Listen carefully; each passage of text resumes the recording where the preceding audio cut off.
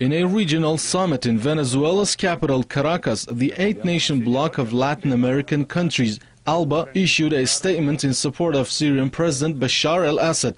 The heads of state and government of the Bolivarian alliance, ALBA, reiterate their condemnation of the systematic policy of interference and destabilization in the brother Arab Republic of Syria.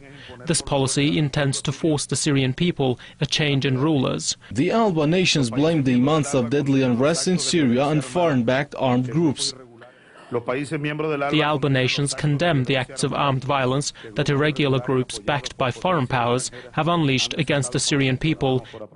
The heads of the Bolivarian alliance reiterated that Assad's policies of reform and national dialogue are the only solution to the situation in Syria. The ALBA countries reiterate their support to the policies of reform and national dialogue introduced by President Bashar al-Assad's government that looks to find a political solution to the current crisis, respectful of the Syrian people's sovereignty and the territorial integrity of that Arab country.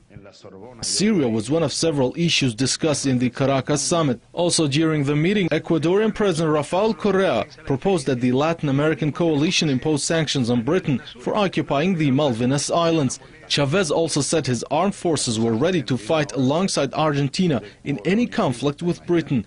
Tensions have been simmering between Britain and Argentina in recent months over the Malvinas Islands, also known as the Falklands. The dispute heated up when London deployed Prince William to the islands on a six-week military tour and sent one of its most sophisticated warships there. Argentina claims Britain stole the area from it 180 years ago.